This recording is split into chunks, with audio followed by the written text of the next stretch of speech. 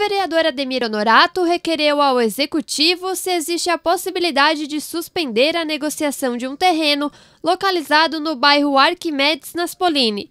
A negociação do terreno ocorre de acordo com o projeto PE 37/2018, que trata de uma permuta de imóvel e constatação de que esta negociação está diretamente ligada ao binário, que por hora está sendo estudado. Vai ser uma compra desnecessária, que na verdade está sendo feita uma troca por um terreno lá próximo ao viário de mais ou menos um hectare e meio, são 14 mil metros. Essa, a princípio, essa permuta toca desse espaço aqui com o espaço lá por 14 mil metros, né, para fazer o desafogamento de uma rua. Não se sabe ao certo, então, é, essa audiência pública ela vai fazer nós todos ter a ciência do que está acontecendo.